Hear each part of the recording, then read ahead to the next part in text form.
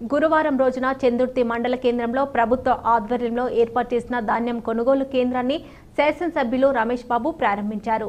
ఈ కార్యక్రమంలో ఆయనతో పాటు జిల్లా పరిషత్ చైర్పర్సన్ అరుణ రాఘవరెడ్డి స్థానిక MPP Bairagoni Lavanya Ramesh sarpanch Premalatha market committee chairman Srinivasa Rao సహకార సంఘం చైర్మన్ తిప్పని శ్రీనివాస్ టీఆర్ఎస్ మండల శాఖ అధ్యక్షుడు మేకల ఎల్లయ్య రైతులు ఉన్నారు. నమస్కారం తెలియజేసుకుంటూ ఇవాళ సమావేశంలో ఒక ప్రత్యేకత ఉంది. బట్ల కొనుగోలు నుంచి అంగన్వాడీ నుంచి జిమ్ దాకా ఒకటే సమావేశంలో వింటున్నాం. ఇక్కడ మరి అందరూ కూడా సమన్వయంగా మనకున్న సమస్యలు పరిష్కారం చేసుకుందాం అనే ఉద్దేశంతో ఈ సమావేశం ఏర్పాటు చేసింది కాబట్టి ఈ ప్రత్యేకత నాకు బాగా నచ్చింది కూడా.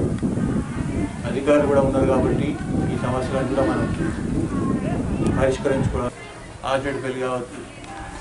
అప్పుడు అన్ని మండలాలు తిరుగుకుంటూ పోయేటువంటి సందర్భంలో అన్నిటికంటే ఘోరంగా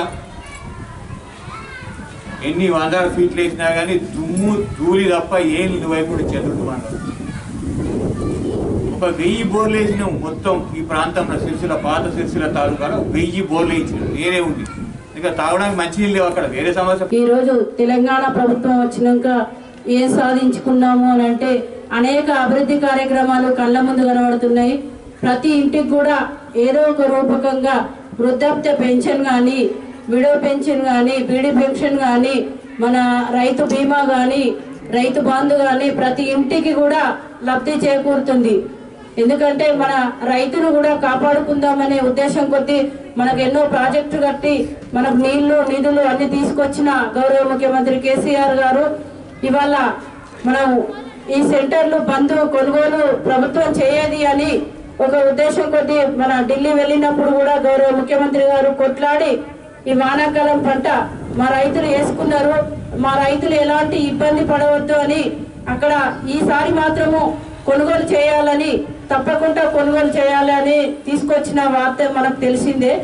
ఆ తెలిసిన దాన్ని బట్టి మనం ఈసారి చివరి గింజ వరకు మద్దతు ధర ఇచ్చుకుంటూ మనకు సెంటర్లు ఎక్కడ ఏ గ్రామానికి ఇబ్బంది కలగద్దు రైతులని సెంటర్లు ఓపెనింగ్ ఇవాళ స్టార్ట్ చేసుకోవడం జరుగుతుంది. రైతులు కూడా చైర్మన్కు సహకరించాలి చైర్మన్ కూడా రైతులకు సహకరించి అధికారులు కూడా సహకరించి దీనికి ముందుంది. ఇప్పుడు ఏడీ గారు చెప్పినట్టుగా కూడా వాళ్ళు కూడా సహకరించి అందరి సహకారంతో కూడా చివరి గింజ వరకు కూడా కొని విజయవంతం చేస్తా అని తెలియజేసుకుంటూ ఈ అవకాశం ఇచ్చిన అందరికీ ఫ్యాక్సీ చైర్మన్కు మళ్ళీ ఒకసారి ఎమ్మెల్యే రమేష్ బాబు గారికి ప్రత్యేక ధన్యవాదాలు కృతజ్ఞతలు తెలియజేసుకుంటూ జై తెలంగాణ.